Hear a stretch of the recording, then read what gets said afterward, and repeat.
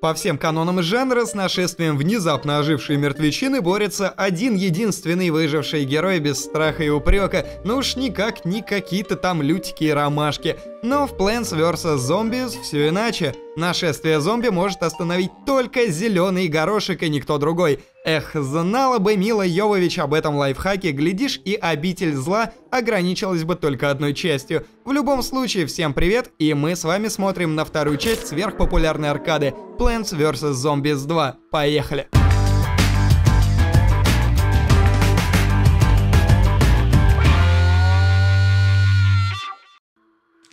Спешу вас обрадовать или может огорчить, в геймплее игры практически ничего не поменялось. Добавились некоторые новые игровые возможности, но в общем и целом мы также сажаем цветочки и отбиваемся от толпы зомби, которые пытаются пробраться в наш дом. Понятно, что игроку всеми силами нужно им помешать это сделать, перебив всех незваных гостей. Когда зомби на уровне заканчиваются, мы переходим на следующий и так до победного конца.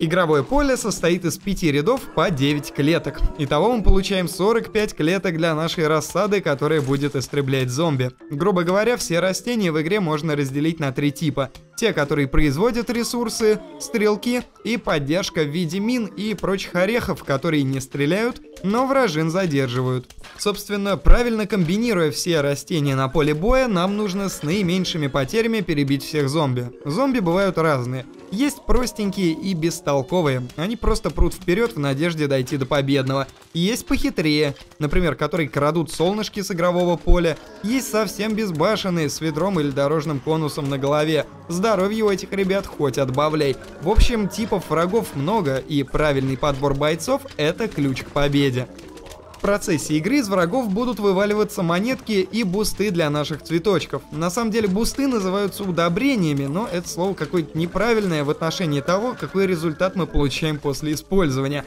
Во-первых, его можно применить на любое растение. Например, подсолнух разродится в неплановой порции солнышек. Зеленый горошек несколько секунд будет лупить как из шестиствольного минигана, а бронированный орех получит дополнительный слой металлической защиты. Бусты можно собирать с зеленых поверженных зомби, либо покупать за денежки, которые также выпадают время от времени из поверженных врагов. Также монетки можно тратить и на пауэрапы, то есть попросту сверхспособностям. Их три штуки. Первая — это возможность жестом Pinch to Zoom поотрезать глупые головы зомби. Вторая позволяет подбросить в воздух захватчиков, а третья — это тупо электрошок. И немного подробнее о монетках.